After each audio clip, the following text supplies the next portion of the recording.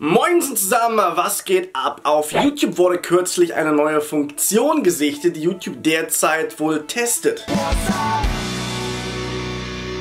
Und zwar handelt es sich dabei um Live-Views. Das Ganze kennen wir natürlich schon von Livestreams. Da wird immer angezeigt, wie viele Zuschauer gerade den Livestream verfolgen. Für normale Videos gab es das Ganze bisher allerdings noch nicht. Aber genau das soll YouTube derzeit testen. Der Google Watchblog hat dazu einen echt interessanten Artikel geschrieben, wo es auch noch einige Screenshots zu dem Ganzen gibt. Habe ich euch natürlich verlinkt unten in der Videobeschreibung. Die Live-View-Funktionen sehen derzeit tatsächlich nur wenige Nutzer und das Ganze wurde von YouTube bisher auch noch nicht bestätigt. Kann also noch eine ganze Weile dauern, bis diese Funktion wirklich für alle User freigegeben wird, beziehungsweise bei YouTube weiß man ja immer nicht so genau, denn es werden viele Funktionen getestet, die am Ende nicht das Licht der Welt erblicken. Ob diese Funktion dazu gehören wird, das steht natürlich noch in den Sternen. Die Live-Views sind auf jeden Fall ein interessantes Feature, was ganz gut zeigt, ob ein Video gerade im Trend ist und oft gesehen wird oder ob der Hype schon wieder vorbei ist. Ich frage mich gerade nur, will ich wirklich, dass jeder sehen kann, wie mein Video gerade performt? Die Funktion bringt natürlich sowohl Vor- als auch Nachteile mit sich.